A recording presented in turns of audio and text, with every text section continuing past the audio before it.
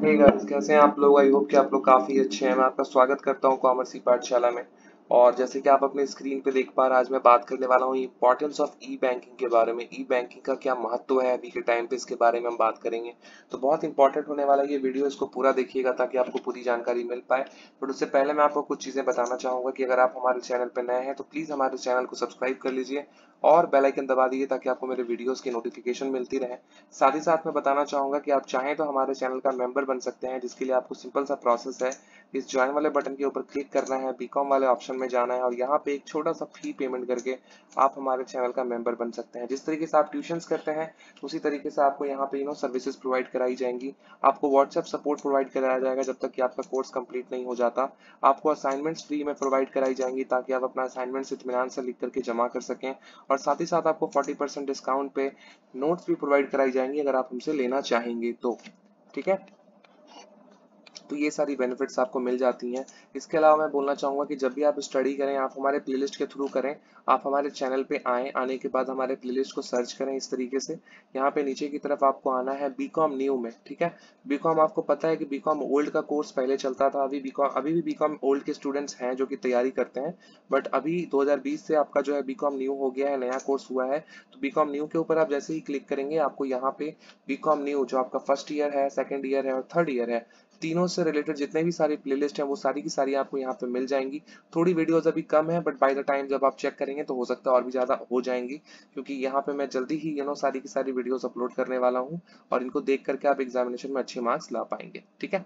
तो चलिए आज के टॉपिक की तरफ़ चलते हैं which is about the importance of banking ठीक है ना? So e banking is a service provided by the banks that a customer to conduct banking transactions, such as checking accounts, applying for loans, and paying bills over the internet using a personal computer mobile telephone or hand uh, hand handheld computer है ना?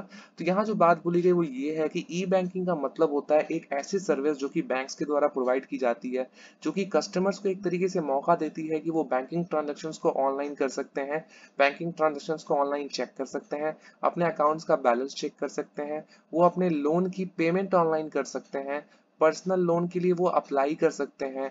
इतनी, जितनी भी सारी services आपको bank जा करके करनी होती है, वो आप घर बैठे इनके एप्लीकेशन के थ्रू जो कि बैंक के द्वारा बनाया जाता है, आप अपने घर बैठे, अपने पर्सनल कंप्यूटर पे, अपने मोबाइल फ़ोन पे यू नो या फिर हैंड हेल्ड कंप्यूटर पे आप इन सारी चीज़ों को कर पाते हैं।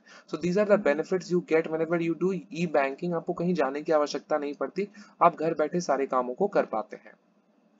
It includes a range of services अब इसमें बहुत सारी सर्विसेज़ आ जाएँगी, जैसे कि इलेक्ट्रॉनिक फंड ट्रांसफ़र हो गया।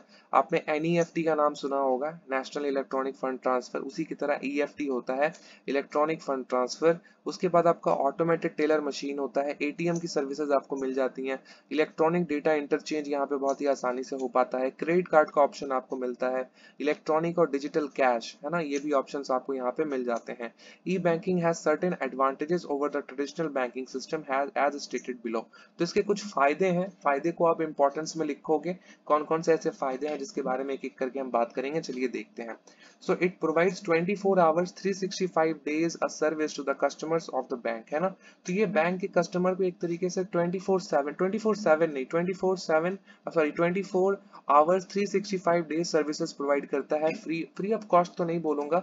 चार्जेस तो आपको लगते हैं पर उस एप्लीकेशन को इस्तेमाल करने के चार्जेस नहीं लगते। उस एप्लीकेशन के अंदर जो सर्विसेज़ है, उसको इस्तेमाल करने के लिए आपको चार्जेस भले लग सकते हैं।